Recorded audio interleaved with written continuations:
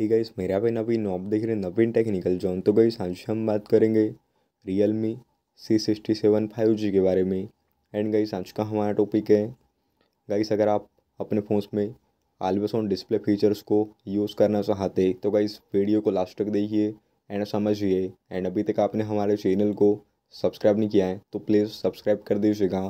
तो आप सेटिंग्स में जाइएगा एंड यहाँ पे आप वॉलपेपर्स एंड स्टाइल के ऑप्शन पे जाइएगा। तो यहाँ पे आपको ऊपर में आलवेस ऑन डिस्प्ले फीचर्स पे क्लिक कर दीजिएगा यहाँ पे आपको सेकंड वाला ऑप्शन दिया जाता है आलवेस ऑन डिस्प्ले का तो आप क्लिक कर दीजिएगा तो यहाँ पे आपको नीचे में आलवेस ऑन डिस्प्ले के ऑप्शन को ऑन कर देना है इनेबल कर देना है। तो गाइज़ इससे क्या होगा कि आप जैसे ही अपने फ़ोन के स्क्रीन को लॉक करेंगे तो उसके बाद आपको date icon battery icon and notification icon show करेगा। तो इस टाइप से आप आलवेस ऑन डिस्प्ले फीचर्स को यूज़ कर सकते तो गाइस ये था चुका हमारा टॉपिक उम्मीद ही गाइस आपको वीडियो पसंद होगी।